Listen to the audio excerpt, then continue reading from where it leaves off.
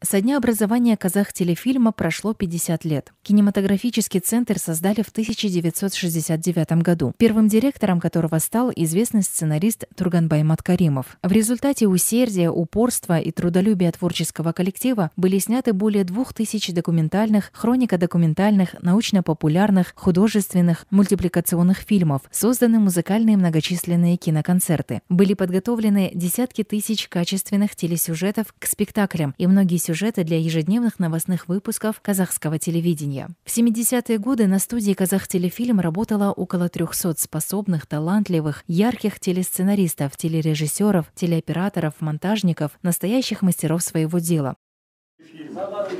Телефильм это такая большая-большая лодка, огромная. С нее некоторые сходили, некоторые опять заползали и так плыли до самого конца.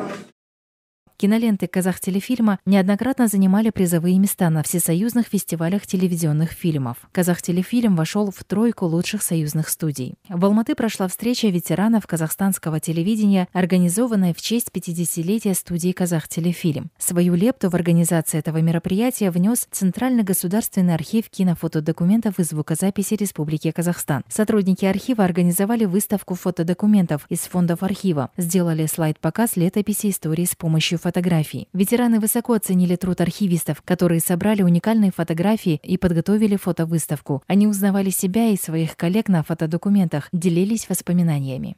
Здесь изображен Булат Ильясович Габитов Джансугуров, Шопан Кайтаевна. Это моя супруга. Она была главным режиссером казахского телевидения и была главным режиссером президентского телерадиокомплекса. Я почему это все показываю? Потому что история казах телефильма начиналась вот с этого разговора.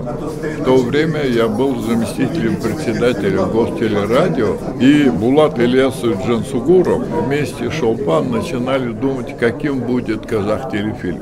И поэтому, когда сегодня мы отмечаем 50 лет казах телефильму, вот эта фотография, она является исторической. И я хочу поблагодарить вас в первую очередь и нашего доктора наук, который является организатором этой встречи. Все мы, вот то, что наснимали в свои, так сказать, годы, когда могли, так сказать, все это снимать и работать, это все становится документом истории. И я думаю, что ему место в архиве, в самом лучшем архиве нашей страны.